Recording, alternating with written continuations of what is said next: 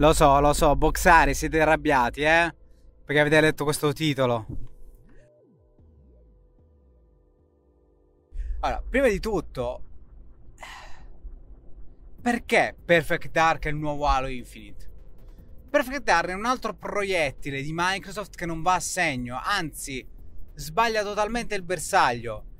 Più, avrebbero fatto più bella figura ai miei occhi, quelli di Microsoft, se avessero pubblicizzato una nuova IP creata da Initiative. E invece loro che hanno fatto? Hanno preso Perfect Dark, hanno dato a Initiative Perfect Dark.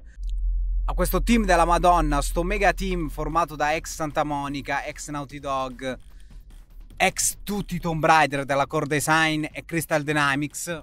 Io sono più che felice che Perfect Dark è stato dato in mano a loro, piuttosto che a Rare. Era un proiettile in fatto di marketing che poteva sfruttare Microsoft per dimostrare di essere un'ottima azienda. E invece l'ha sparato a salve, vi spiego il perché.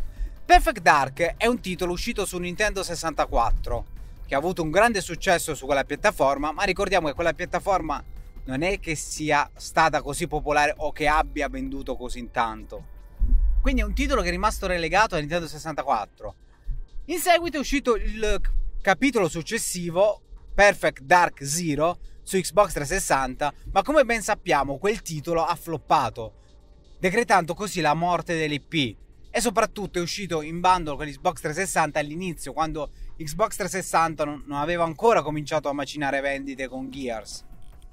Cosa voglio dire? Che Microsoft qui ha sbagliato. Doveva dire fin da subito che stava sviluppando Perfect Dark ed Initiative stava sviluppando Perfect Dark perché così youtuber del cazzo come il sottoscritto o che ne so, un saccio una minchia o un qualsiasi altro influencer avrebbe in questi anni pompato l'hype per questo Perfect Dark, avrebbe fatto scoprire cosa è Perfect Dark, avrebbe parlato di Perfect Dark e chi, di, chi tra voi dice che è famosa Perfect Dark come IP, forse non tiene conto che i maggiori giocatori sono i ragazzini. Molti ragazzini nascono da epoca PS2 o PS3. Perfect Dark non sanno nemmeno cosa sia. Quindi è un'IP vuota. E la cosa che dispiace è che, che invece non è così vuota come IP, è una bella IP. Solo che di nuovo, come con Halo Infinite, non l'ha saputa valorizzare Microsoft. Doveva dire fin da subito, lo ribadisco, doveva dire fin da subito che stava sviluppando questo gioco. Così da permettere a tutti gli influencer, chi cazzo ne so, chiunque, che era fan di, del Perfect Dark originale di creare lore su lore, story, spiegare approfondimenti, così da far arrivare al giorno d'oggi i probabili nuovi acquirenti di questa IP con un hype pazzesco, con la voglia di acquistare questo Perfect Dark, perché avevano sentito narrare le gesta.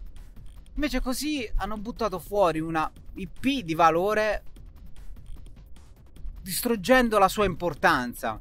Infatti mi sto sentendo spesso, ma che cos'è Perfect Dark? Cioè, molti ragazzini non sanno cosa è, mi stanno domandando cosa è Perfect Dark, non so nemmeno cosa sia.